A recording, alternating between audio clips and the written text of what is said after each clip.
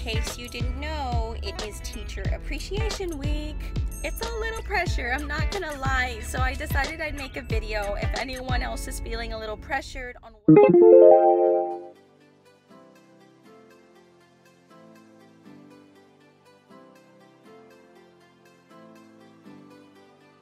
I am just returning from my Ross shopping trip did find some really great ideas for teacher appreciation which that was the goal. I want to get some gifts for those teachers of my two little ones. I have a second grader who's in regular public school. He loves school. He is a male teacher. So I was like uh, I don't know what to get him and then the other set of teachers are super special.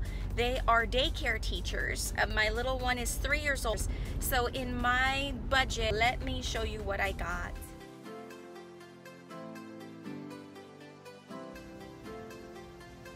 and I'm ready to show you what I bought for Teacher Appreciation Week. Mainly at Ross. This is where I found the great stuff. Um, and I got lucky at the other places. I know it seems a little excessive, but this really wasn't too bad because Aldo's had a really good clearance sale. And since my second grader does have a male teacher, I fell in love with this belt, which I feel is very professional, yet casual, and it's just a good staple for him to have in his wardrobe, which is regular $30, but it was marked down to about $25 and then the sale was 50% off of the $25. If I would have gotten a gift card, it would have been a little more expensive than this. He likes to spank me. God, that didn't help anything at all. So that's for my second grade, second grader's teacher. This is the stuff that I'm getting now from the daycare staff. So there, for that, I went to Ross because we got this wonderful little friendly suggestion list of things to buy for teachers. First, let me explain this because this.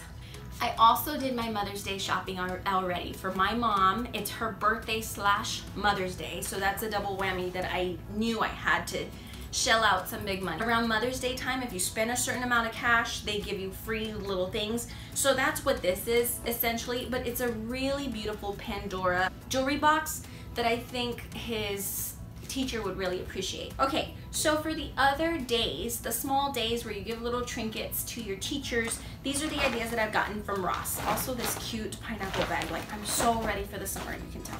For the first day, they suggested that we do um, a thank you card. So I am gonna give gift cards. So I have a Starbucks card for his main teacher and then a Bill Miller's card. It's barbecue if you don't live in Texas. And I'm gonna put those into these cool little water bottles that I found at Ross. So I'm gonna put them in there with some gift paper. For the next day, it's showing your teacher how they brighten your day. So I plan on giving her some cool shades. I really like these sunglasses. I thought they were beautiful and classic. She's a girly girl like me. So I love these and I think she's gonna enjoy them. Also for the staff, I bought this collection of Daisy Fuentes body mists. These are infused with argan oil and shea butter so they're gonna smell delicious. They have a little bit of sparkle in them, which I really love. And these scents, sheer vanilla, violet flower, freesia. I'm gonna end up separating them out and tagging them for each of the staff workers that are there. And I want to show them appreciation as well because they are doing that with all of their heart. After sharing my gift ideas, I do want to be sure that I conclude by saying that teachers are special. We need to appreciate them in any way that we possibly can, even if it's just a thank you. And honestly, that really would truly be enough. With that, I want to share with you my favorite teacher. This is my seventh grade middle school teacher. She was my favorite. I looked up to her. She truly was the person that I needed when I was younger, and I still try to emulate her to this day. We reconnected recently because I'm now the middle school social worker for her daughter. If you are a teacher, thank you for all that you do. You inspire, guide, enlighten, and motivate.